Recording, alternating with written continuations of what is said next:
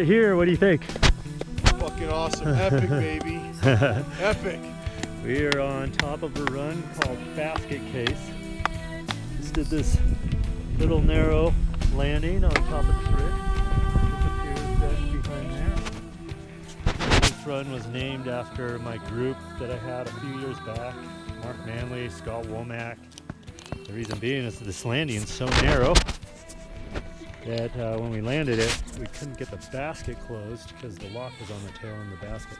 We just landed around the corner over there on JJ's last run. And uh, anyway, I'm gonna ski this thing. Have fun.